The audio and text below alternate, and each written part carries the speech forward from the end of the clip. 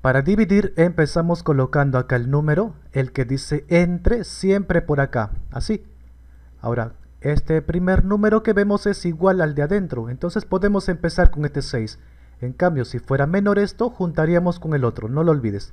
Así que con 6. 6 multiplicado con qué número me acerco a este 6 sin pasarme? Por 1 exacto, ¿verdad? 6 por 1 da 6. Restamos y queda 0. 6 menos 6, 0.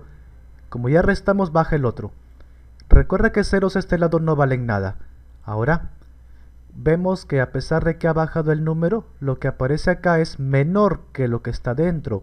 En esos casos tendría que bajar otro número, pero como ya no hay número que baje, ahí termina. Y siempre que termina con el número que bajó, acá agregas un 0. Y listo. ¿Es exacta? No. ¿Por qué no? Porque al final no quedó 0. Si hubiera sido 0, ahí sí sería exacta. Residuo es este último número que quedó debajo. Cociente lo que quedó aquí. 10.